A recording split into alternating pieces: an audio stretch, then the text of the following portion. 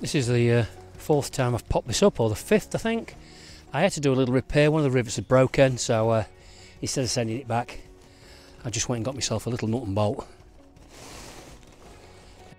and repaired it. Make sure that's inside before you lift it over, then lift the back up. The back up, put the locking pins in. Put that locking pin in and put that locking pin in. Just go around, make sure all the backs and sides are down. So that was quick and easy. Just gonna pop it back now. Make sure it's seated right. I'm just to quick sit in it, make sure that we've got a reasonably firm base. Good to me. So that, how long did that take? 25 30 seconds probably realistically to put it up. Okay so I'm going to set up uh, my little uh, scene about five meters out there. So I'm going to pace out five meters. One two three four five. So five meters is about about the right distance where I want to shoot today. Um, it's about like in line with my bag. So I'm going to get a little setup here now pop some teasels on. Okay so this is the setup. I've got the sun directly in front of me there. So it's, it's actually, they're, they're actually uh, front let the, the birds. I'm just going to put a few more little, these are sunflower hearts. I'm just going to put them on there and put a very few in here. And hopefully they'll come and land in here and then they'll fly up from this side here. So this is going to be the main part of the image and I want them coming from this side.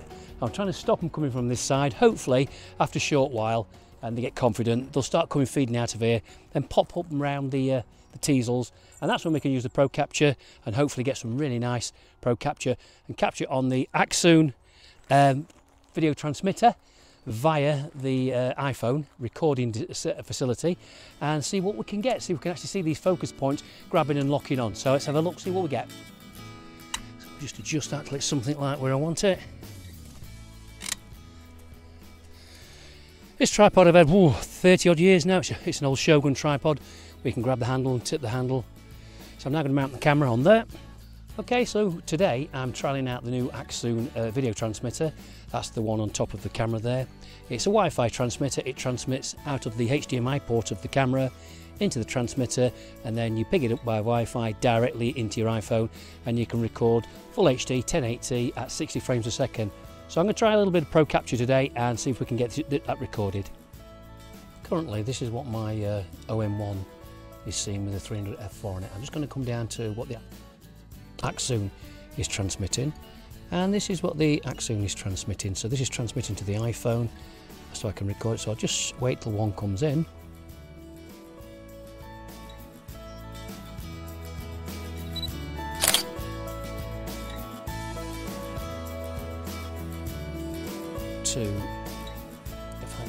Camera up and go to there, and that's what I'm hoping they're going to start coming to in a few minutes when we've got that tray emptied.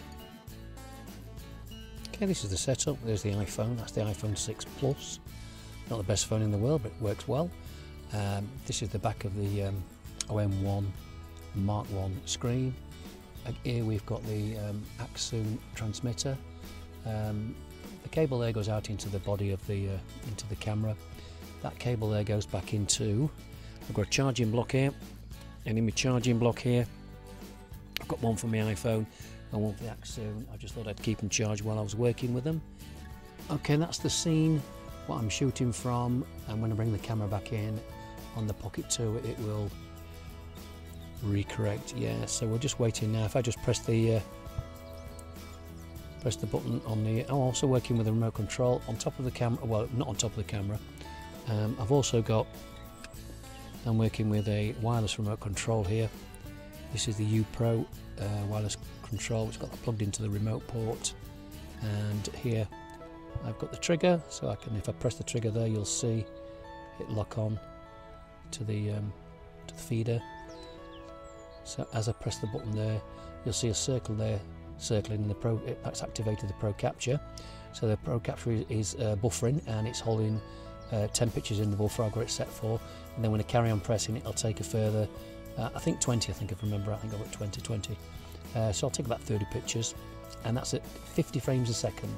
So if I hold the frame, uh, the shutter down for uh, one second, 60 pictures, and that's full RAW, uh, 20 megapixels full RAW. So, and this will transmit at uh, the action will transmit at 1080 um, at 60 frames a second. That's its maximum.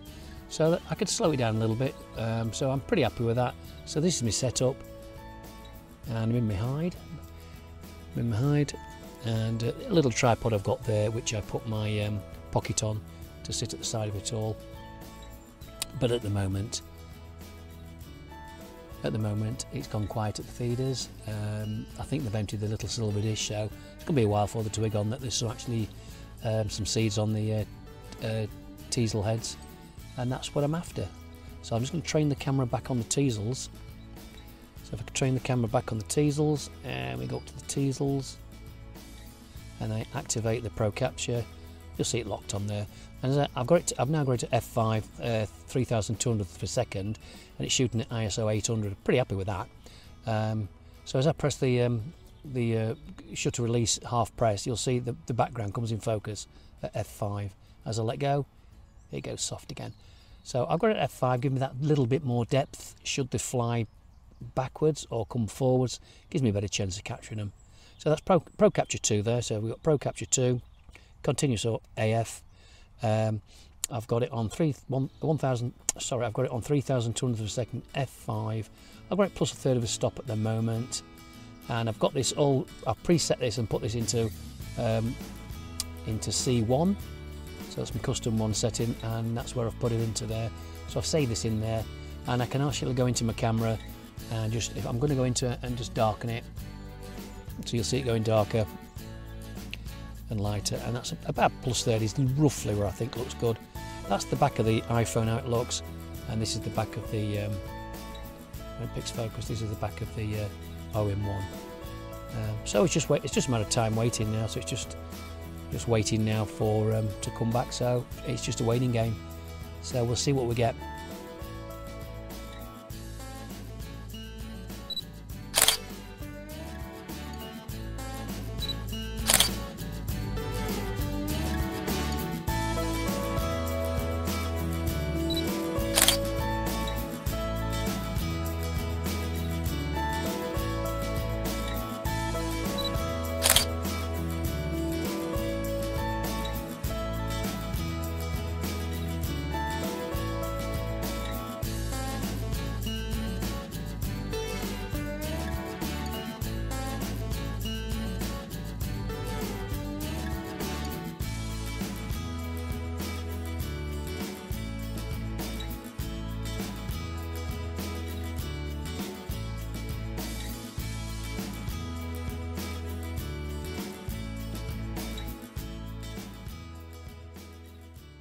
Okay, so for after using this Accsoon Eye for a short while, would I recommend it? Well, it's very easy to use. It's so simple to set it up. It works seamlessly. It records 1080 60 frames a second to your phone. It's got great battery life. It seems to last 3 to 4 hours. It's very, very small and it's very easy to pack, so would I recommend it? I most certainly would. Comes highly recommended from me.